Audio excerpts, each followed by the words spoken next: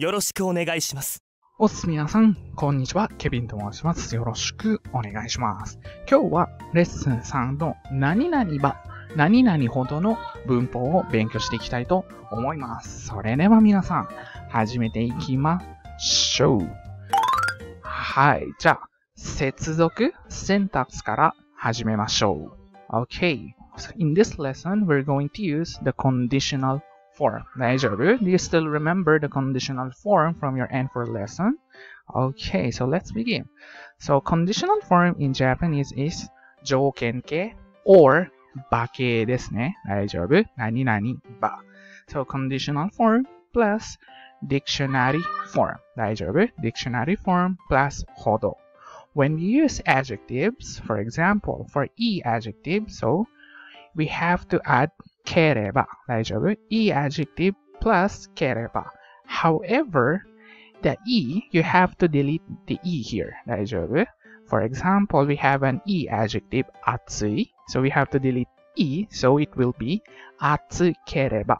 Daijoubu. Then the second E adjective, so here you don't have to delete the E. atsu Atsukereba atsu hodo. Daijoubu desu ka ne? いほど大丈夫ですかね And for the na adjective, we're going to use ならですね。大丈夫 ?na adjective plus なら。However, when you connect with ほど、you have to add な。大丈夫 ?na adjective plus な、then add ほど。For example, we have a na adjective きれい。きれいなら、きれいなほど。大丈夫ですかね ?Okay. For the noun or 名詞、 noun plus であれば and for the second noun, you have to add である or you have to change into である then add ほど。大丈夫ですかね ?You know, it's kind of confusing but you will get used to it. 大丈夫ですかね慣れますから。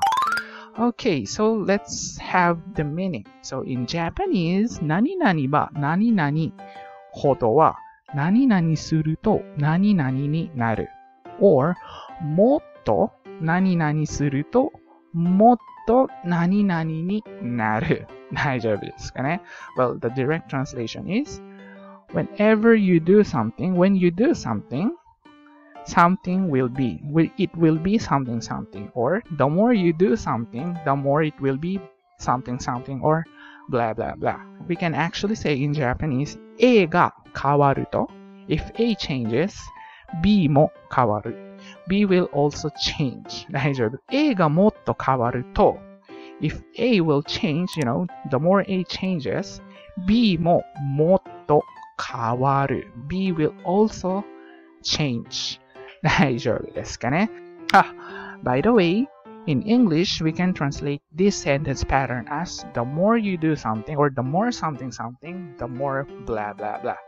大丈夫ですかねそれでは皆さん、 例題を見ていきましょう。例文ですね。例文。example. For example, I have お金です。お金です。お金が増えます。増えます means increase. お金が増えます。お金です。お金がもっと増えます。お金がもっと増えます。お金が増えると、So we have here カメラとか携帯とか、プレイステーションとか、iPad ですよね。これは英語で gadgets ですよね。そう、日本語でこれはガジェットと言います。大丈夫ですかね ?So, the sentence that I want to construct in Japanese is The more I have money, the more I can buy a lot of gadgets. 大丈夫ですかね So, I will give you a hint. Okay, for example, so these are the words that we're going to use. So we have お金あります。たくさん。For gadgets, we have gadget, then 買います。Please take note that can buy, I can buy. So we're using the potential verb. So the whole sentence will be お金があればあるほどたくさんガジェットが買えます。お金があればあるほどたくさんガジェットが買えます。大丈夫ですかね ?So, this is the conditional form of あります。And this is the dictionary form of あります。大丈夫ですかね？よし。じゃあ次の例題はこれですね。彼女は考えています。考えます。考えています。でも、たくさん考えると、たくさん考えると、わからなくなります。わからない、わからなくなります。So, the sentence that I want to construct is, the more I think about it, the more I get confused. 大丈夫ですかね ?So, this is the hint. For, for to think, we have 考えます。大丈夫考えます。and わからない。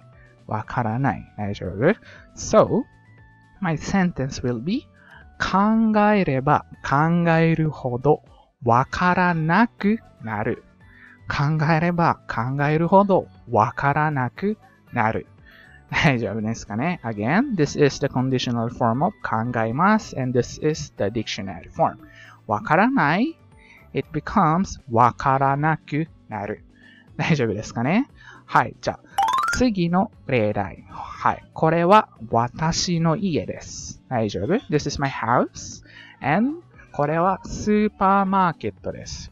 スーパーマーケット So, 私の家はスーパーマーケットから近いです。近い。大丈夫 ?So, my sentence will be, the closer the supermarket is to my home, the more convenient it is. 大丈夫ですかね私の家は近い。So, this is the hint. スーパー、家、近い、convenient is 便利です。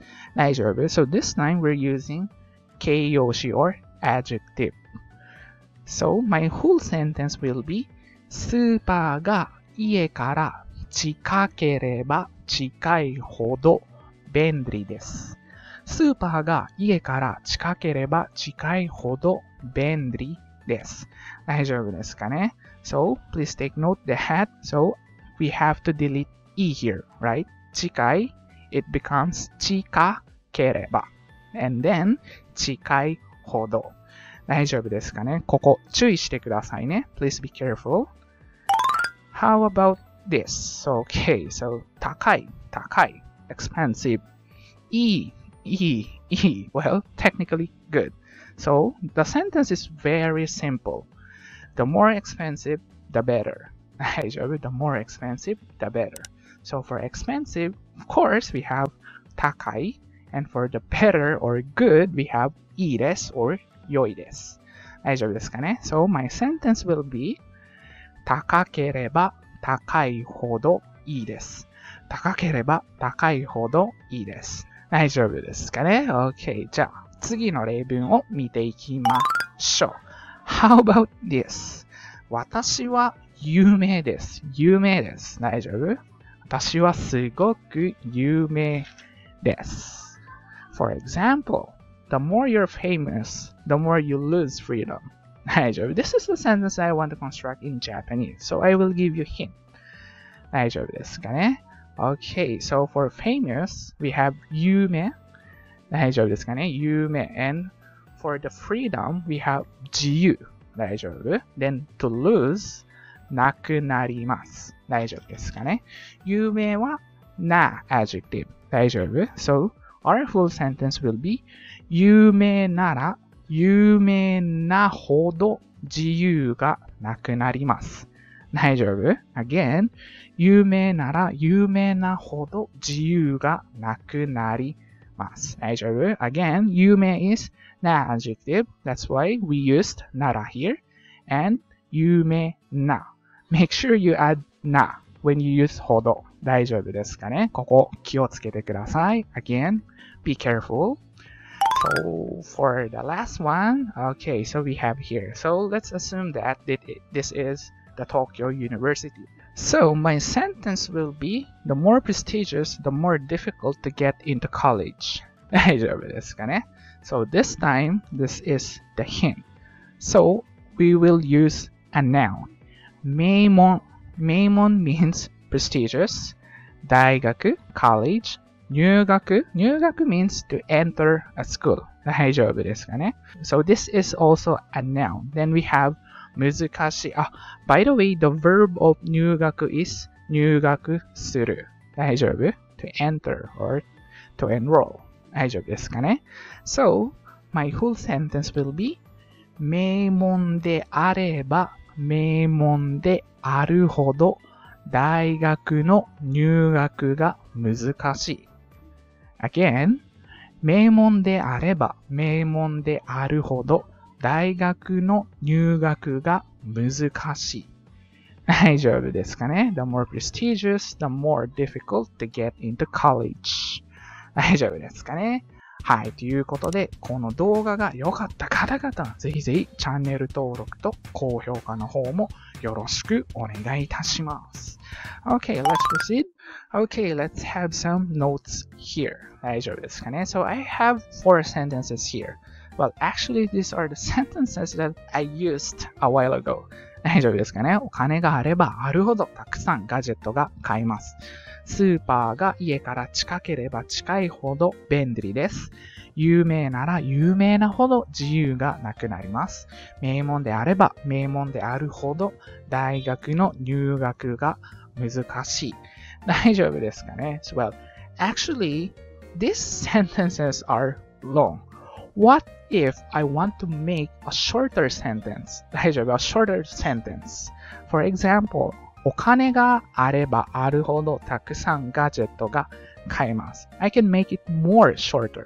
So, if that's the case, we can have or we can just delete the conditional form.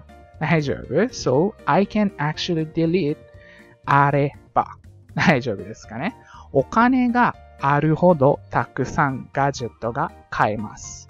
This is literally okay. 大丈夫ですかね So, how about this second sentence? スーパーが家から近ければ近いほど便利です。Again, I can delete the conditional form. So, I will delete 近ければ。スーパーが家から近いほど便利です。大丈夫ですかね ?So, they have the same meaning. 大丈夫 ?Whether you have 近ければ or not, still, they have the same meaning. How, okay, so, number three. 有名なら有名なほど自由がなくなります。So here, I will delete 有名なら。So instead, 有名なほど自由がなくなります。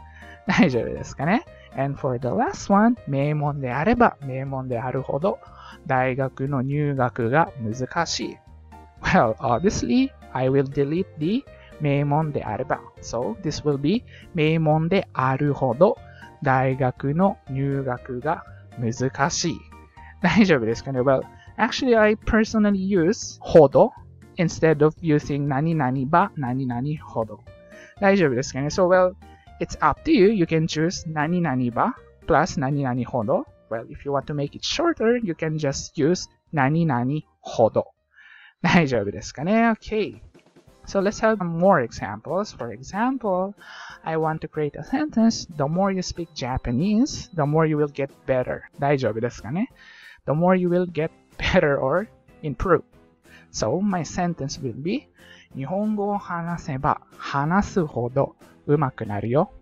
日本語を話せば話すほど上手くなるよ。大丈夫ですかね So, 皆さんは日本語を話せば話すほど上手くなると思いますか日本語を話すほど上手くなると思いますか大丈夫皆さんは上手くなると思いますか大丈夫 So, for the last one, so, the higher we climb the mountain, the air becomes thinner. 大丈夫ですかねこれちょっと難しいかもしれないね。So, for the verb climb, you still remember? 登ります or 登る。大丈夫 ?How about the air and thinner? 大丈夫かな覚えてますかね ?So this is my sentence. 山を高く登れば登るほど空気が薄くなります。大丈夫山を高く登れば登るほど空気が薄くなります。If you want to make it shorter, you can just say 山を高く登るほど空気が薄くなります。大丈夫 ?air 空気薄くなります。becomes thinner 大丈夫ですかね？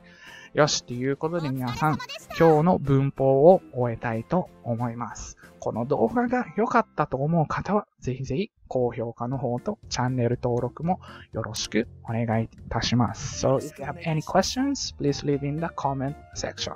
それでは皆さん、いつもありがとうございます。また次回の動画でお会いしましょう。ではでは。